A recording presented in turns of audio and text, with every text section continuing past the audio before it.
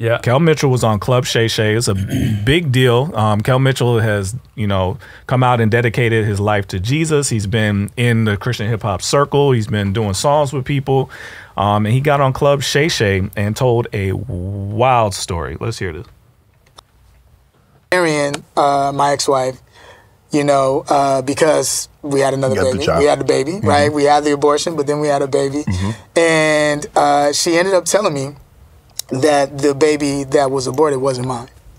And so within that process, uh, you are immediately married within a lie already. Yeah. You know what I'm saying? So the so the Yeah. marriage was never the same after that, was it? No, it was. Uh, this is this is at the beginning. It was other times. Uh, she had gotten pregnant, other things, and it just got to a point. She had gotten pregnant again. Yeah, yeah, yeah. While y'all were together, Yeah, yeah. and it wasn't you. Not with me. Ah, come on. Kel. It wasn't me. It wasn't. And you stuck around. yeah, I stuck. So, so the story went on from there. There was a lot more to it. Um, he he caught her in the in the act. Yeah. Even after catching her in the act, he stayed. Yeah. Um, Bless his life. Yeah. it, it crazy, crazy, crazy. So, uh, what do, what do you think?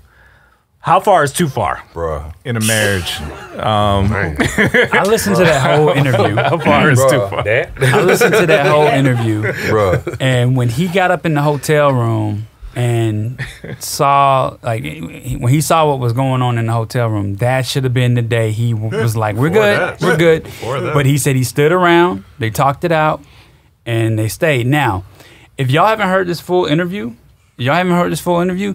There's a lot of things I wish I could have we're told. gonna get into more of it. There's a lot I wish I could have told him. Like, you know, God will only want you to go so far. Mm-hmm. It's great that you're a family man. You want to keep the family together, but that put him in a toxic, almost decade long situation that he didn't.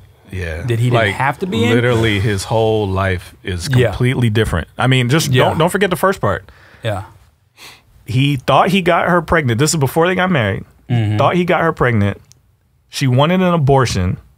She had an abortion. They had another child. They get married, and then she says that the first one wasn't his. Flag on the plate. Yeah. yeah. What, what we, what we doing? Yikes. Yeah. What we doing? Yeah. Uh, Yikes! like, I'm careful on this kind of stuff because it's easy to say what you won't do when you're not in somebody's shoes in Sure. a situation. Yeah. Yeah. We don't necessarily know how he grew up. We don't know what he saw a parent go through or a loved one go through and his mentality. I've seen together. people, yeah, I've seen people who just endured all kind of crazy stuff in relationships because they seen their mama stay after their dad cheated for 40 years. You know what I'm saying? Like, so you never really know. But as for me in my house, you know what I'm saying? Like, you got pregnant by another dude, abortions. I'm catching the whole. It's not gonna get that far. But at the same time, like you said, you just never know what that man went through, and he's. It's almost like Hosea and Gomer. You know what I'm saying? And uh, yeah. It's like you know, with us being Gomer and God, you know, chasing after us repeatedly. So I see. uh You see the desire. I see a desire. I see a love of the Lord in the midst of it. It's just so extreme. It's just like, bro, what does it take? I, I, I sympathize with this because I mean, if if you are, and I and I don't know if he he grew up in the church, but I don't know if at this point he's saying that he was like fully committed. So I don't know if his motivations were godly or or what. But I understand that there's a lot of um, people um, who are like, I'm a Christian, I need to stick by um, my person no matter what. But there is there is um, you know, if somebody breaks the covenant, you are you are free to go at that point. Now you you you can forgive, but you are not like bound anymore. They they have severed your covenant, like like straight out of Jesus' mouth. Now he still hates divorce, so I understand this desire to okay, I got to keep doing it. But when somebody is totally like, I don't respect this marriage, I'm ripping up this covenant, like you you have you have the freedom at that point, uh, I, I believe, under God to say that's enough. You think he did some dirt and then he was just like, you know what Well, I'm okay, so there, Jer- uh, Jeremiah put in the chat. She has now alleged some things on him too. saying? I'm about to say it had to be like both sides because you She even has sit back like on square and just let Ah. somebody Yeah. The you alleging that on her, the alleging from her is nuts. it's Yeah. crazy. Um, so I don't know if she's just you Well, he know. was gay. Uh, uh, he was- So, So we don't normally do gossip. So I'm trying not to. Yeah, yeah, yeah. Right. So I'll say this: the things that I, the things that he exposed in this um, situation was. Let me say this. Let me Mm-hmm. say this. We say we say we don't do gossip, but we're allowing him to speak. So let me let her speak. Her she's saying that um, he- she caught him with Nick Cannon doing weird stuff. I, I knew it had to be a. Mm. So that a guy. that's, I just had to have that's that. her allegation. You know, I Now- didn't mean to say it like so that. why would but- he, so why would he even say anything to him? So if you're doing dirt, why would you go So, and try to so act like- again, we don't know th- both So- of these You know people. This is their testimony. Yeah, it's Gotcha. interesting. So I don't know who. Again, we're we're hearing this from his side, and this is Yeah. why it was a little sticky hearing all of this from him because she she because we know him and we know like that's the power dynamic thing. We know him. We're fond of him from you know Good Burger and all of Kenan and that Kel. and Kenan and Kel. We we know him, so we're prone to be on his side. So we, we can't just ignore the fact that she could be telling the truth and he could be lying. So we can't do that.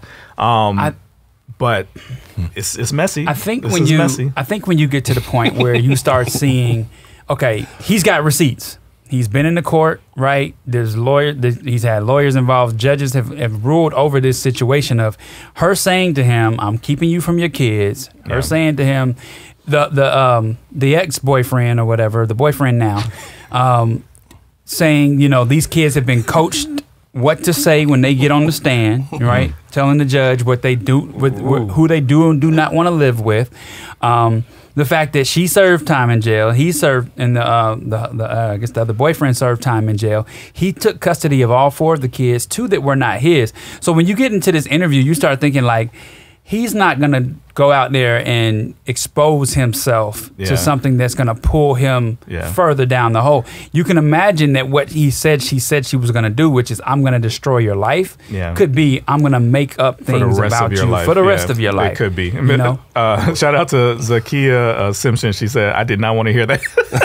Yeah, he, yeah, he'll tell Yeah, her, I but he didn't ain't wanna- talk about like hear no old freaky Nickelodeon sex though. He ain't finna bring that out though. You know what Yeah. I'm saying? He gonna tell on himself about that, bro. So- Club Shay He should have kept his mouth shut on that. Yeah. So yeah, we don't know the truth here, so we're just Yeah. hearing it from his side. But it was regardless of what's true and what's not true, he did speak for a lot of fathers that are going through this. Now, we want to give them room because um there are a lot of fathers who want to see their kids. They love their kids. They're they're um they they're trying to be good fathers and they're shut out. And I think a lot of people are resonating with him because he's been trying for years and years and years to have contact with um, his kids. And what he's alleging is that the, his kids have been coached to now hate him. And I I I want to say that that is that is something I've heard a lot from fathers that feel like they're being vilified in court and this and that. They love their kids, they want to be around their kids, but they're they're being portrayed as a deadbeat dad because they're being painted a certain way. So she said she want to ruin his life. What do you think would be the motivation for her to feel so strongly about ruining his life? What do Uh, you think would have to be done in order for her to feel that way? Like, Well, I don't she went to jail. Yo, She went to jail based on the fact that she had been, um, you know, caught up in fraud, all these different things. Um, she kept the kids from having a relationship, but when she went to jail, they got it. They had they had to, you know, I'm They saying, started but the she said, "I want to ruin your life." What did he do to make her so angry to the point where she's like, "I want to ruin your life"? okay. In the interview, he said she did not want the divorce. yeah.